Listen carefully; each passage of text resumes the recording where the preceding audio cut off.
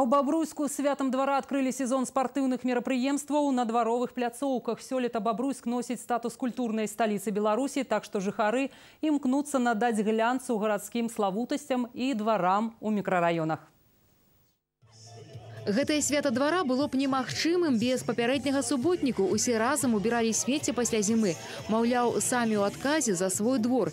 Жыльцы прымалі актыўны ўдзел і ў будаўніцтве пляцоўкі, і ў набыцці гульнёвага абсталявання. В этом дворе была установлена в прошлом году совершенно новая спортивная площадка. И кроме этого весь двор был благоустроен.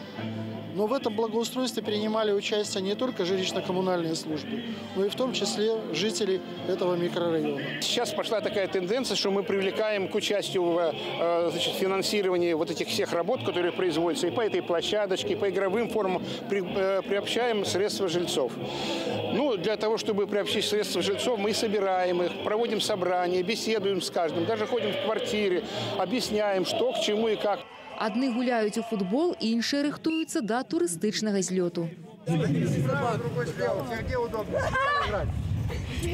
У нас очень многие мероприятия уже такие имеют традиционную основу.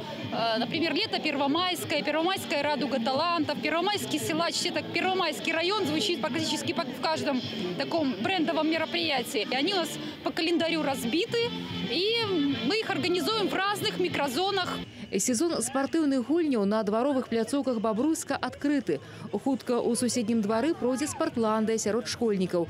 Сёлетнія спаборніцтвы прысвечаны 630годдзю горада, а статус культурнай сталіцы Беларусі абавязвае ўсе справы рабіць на высокім узроўні. Татьяна Сергейчык, Миколай Соболев. Навіны рэгіёна.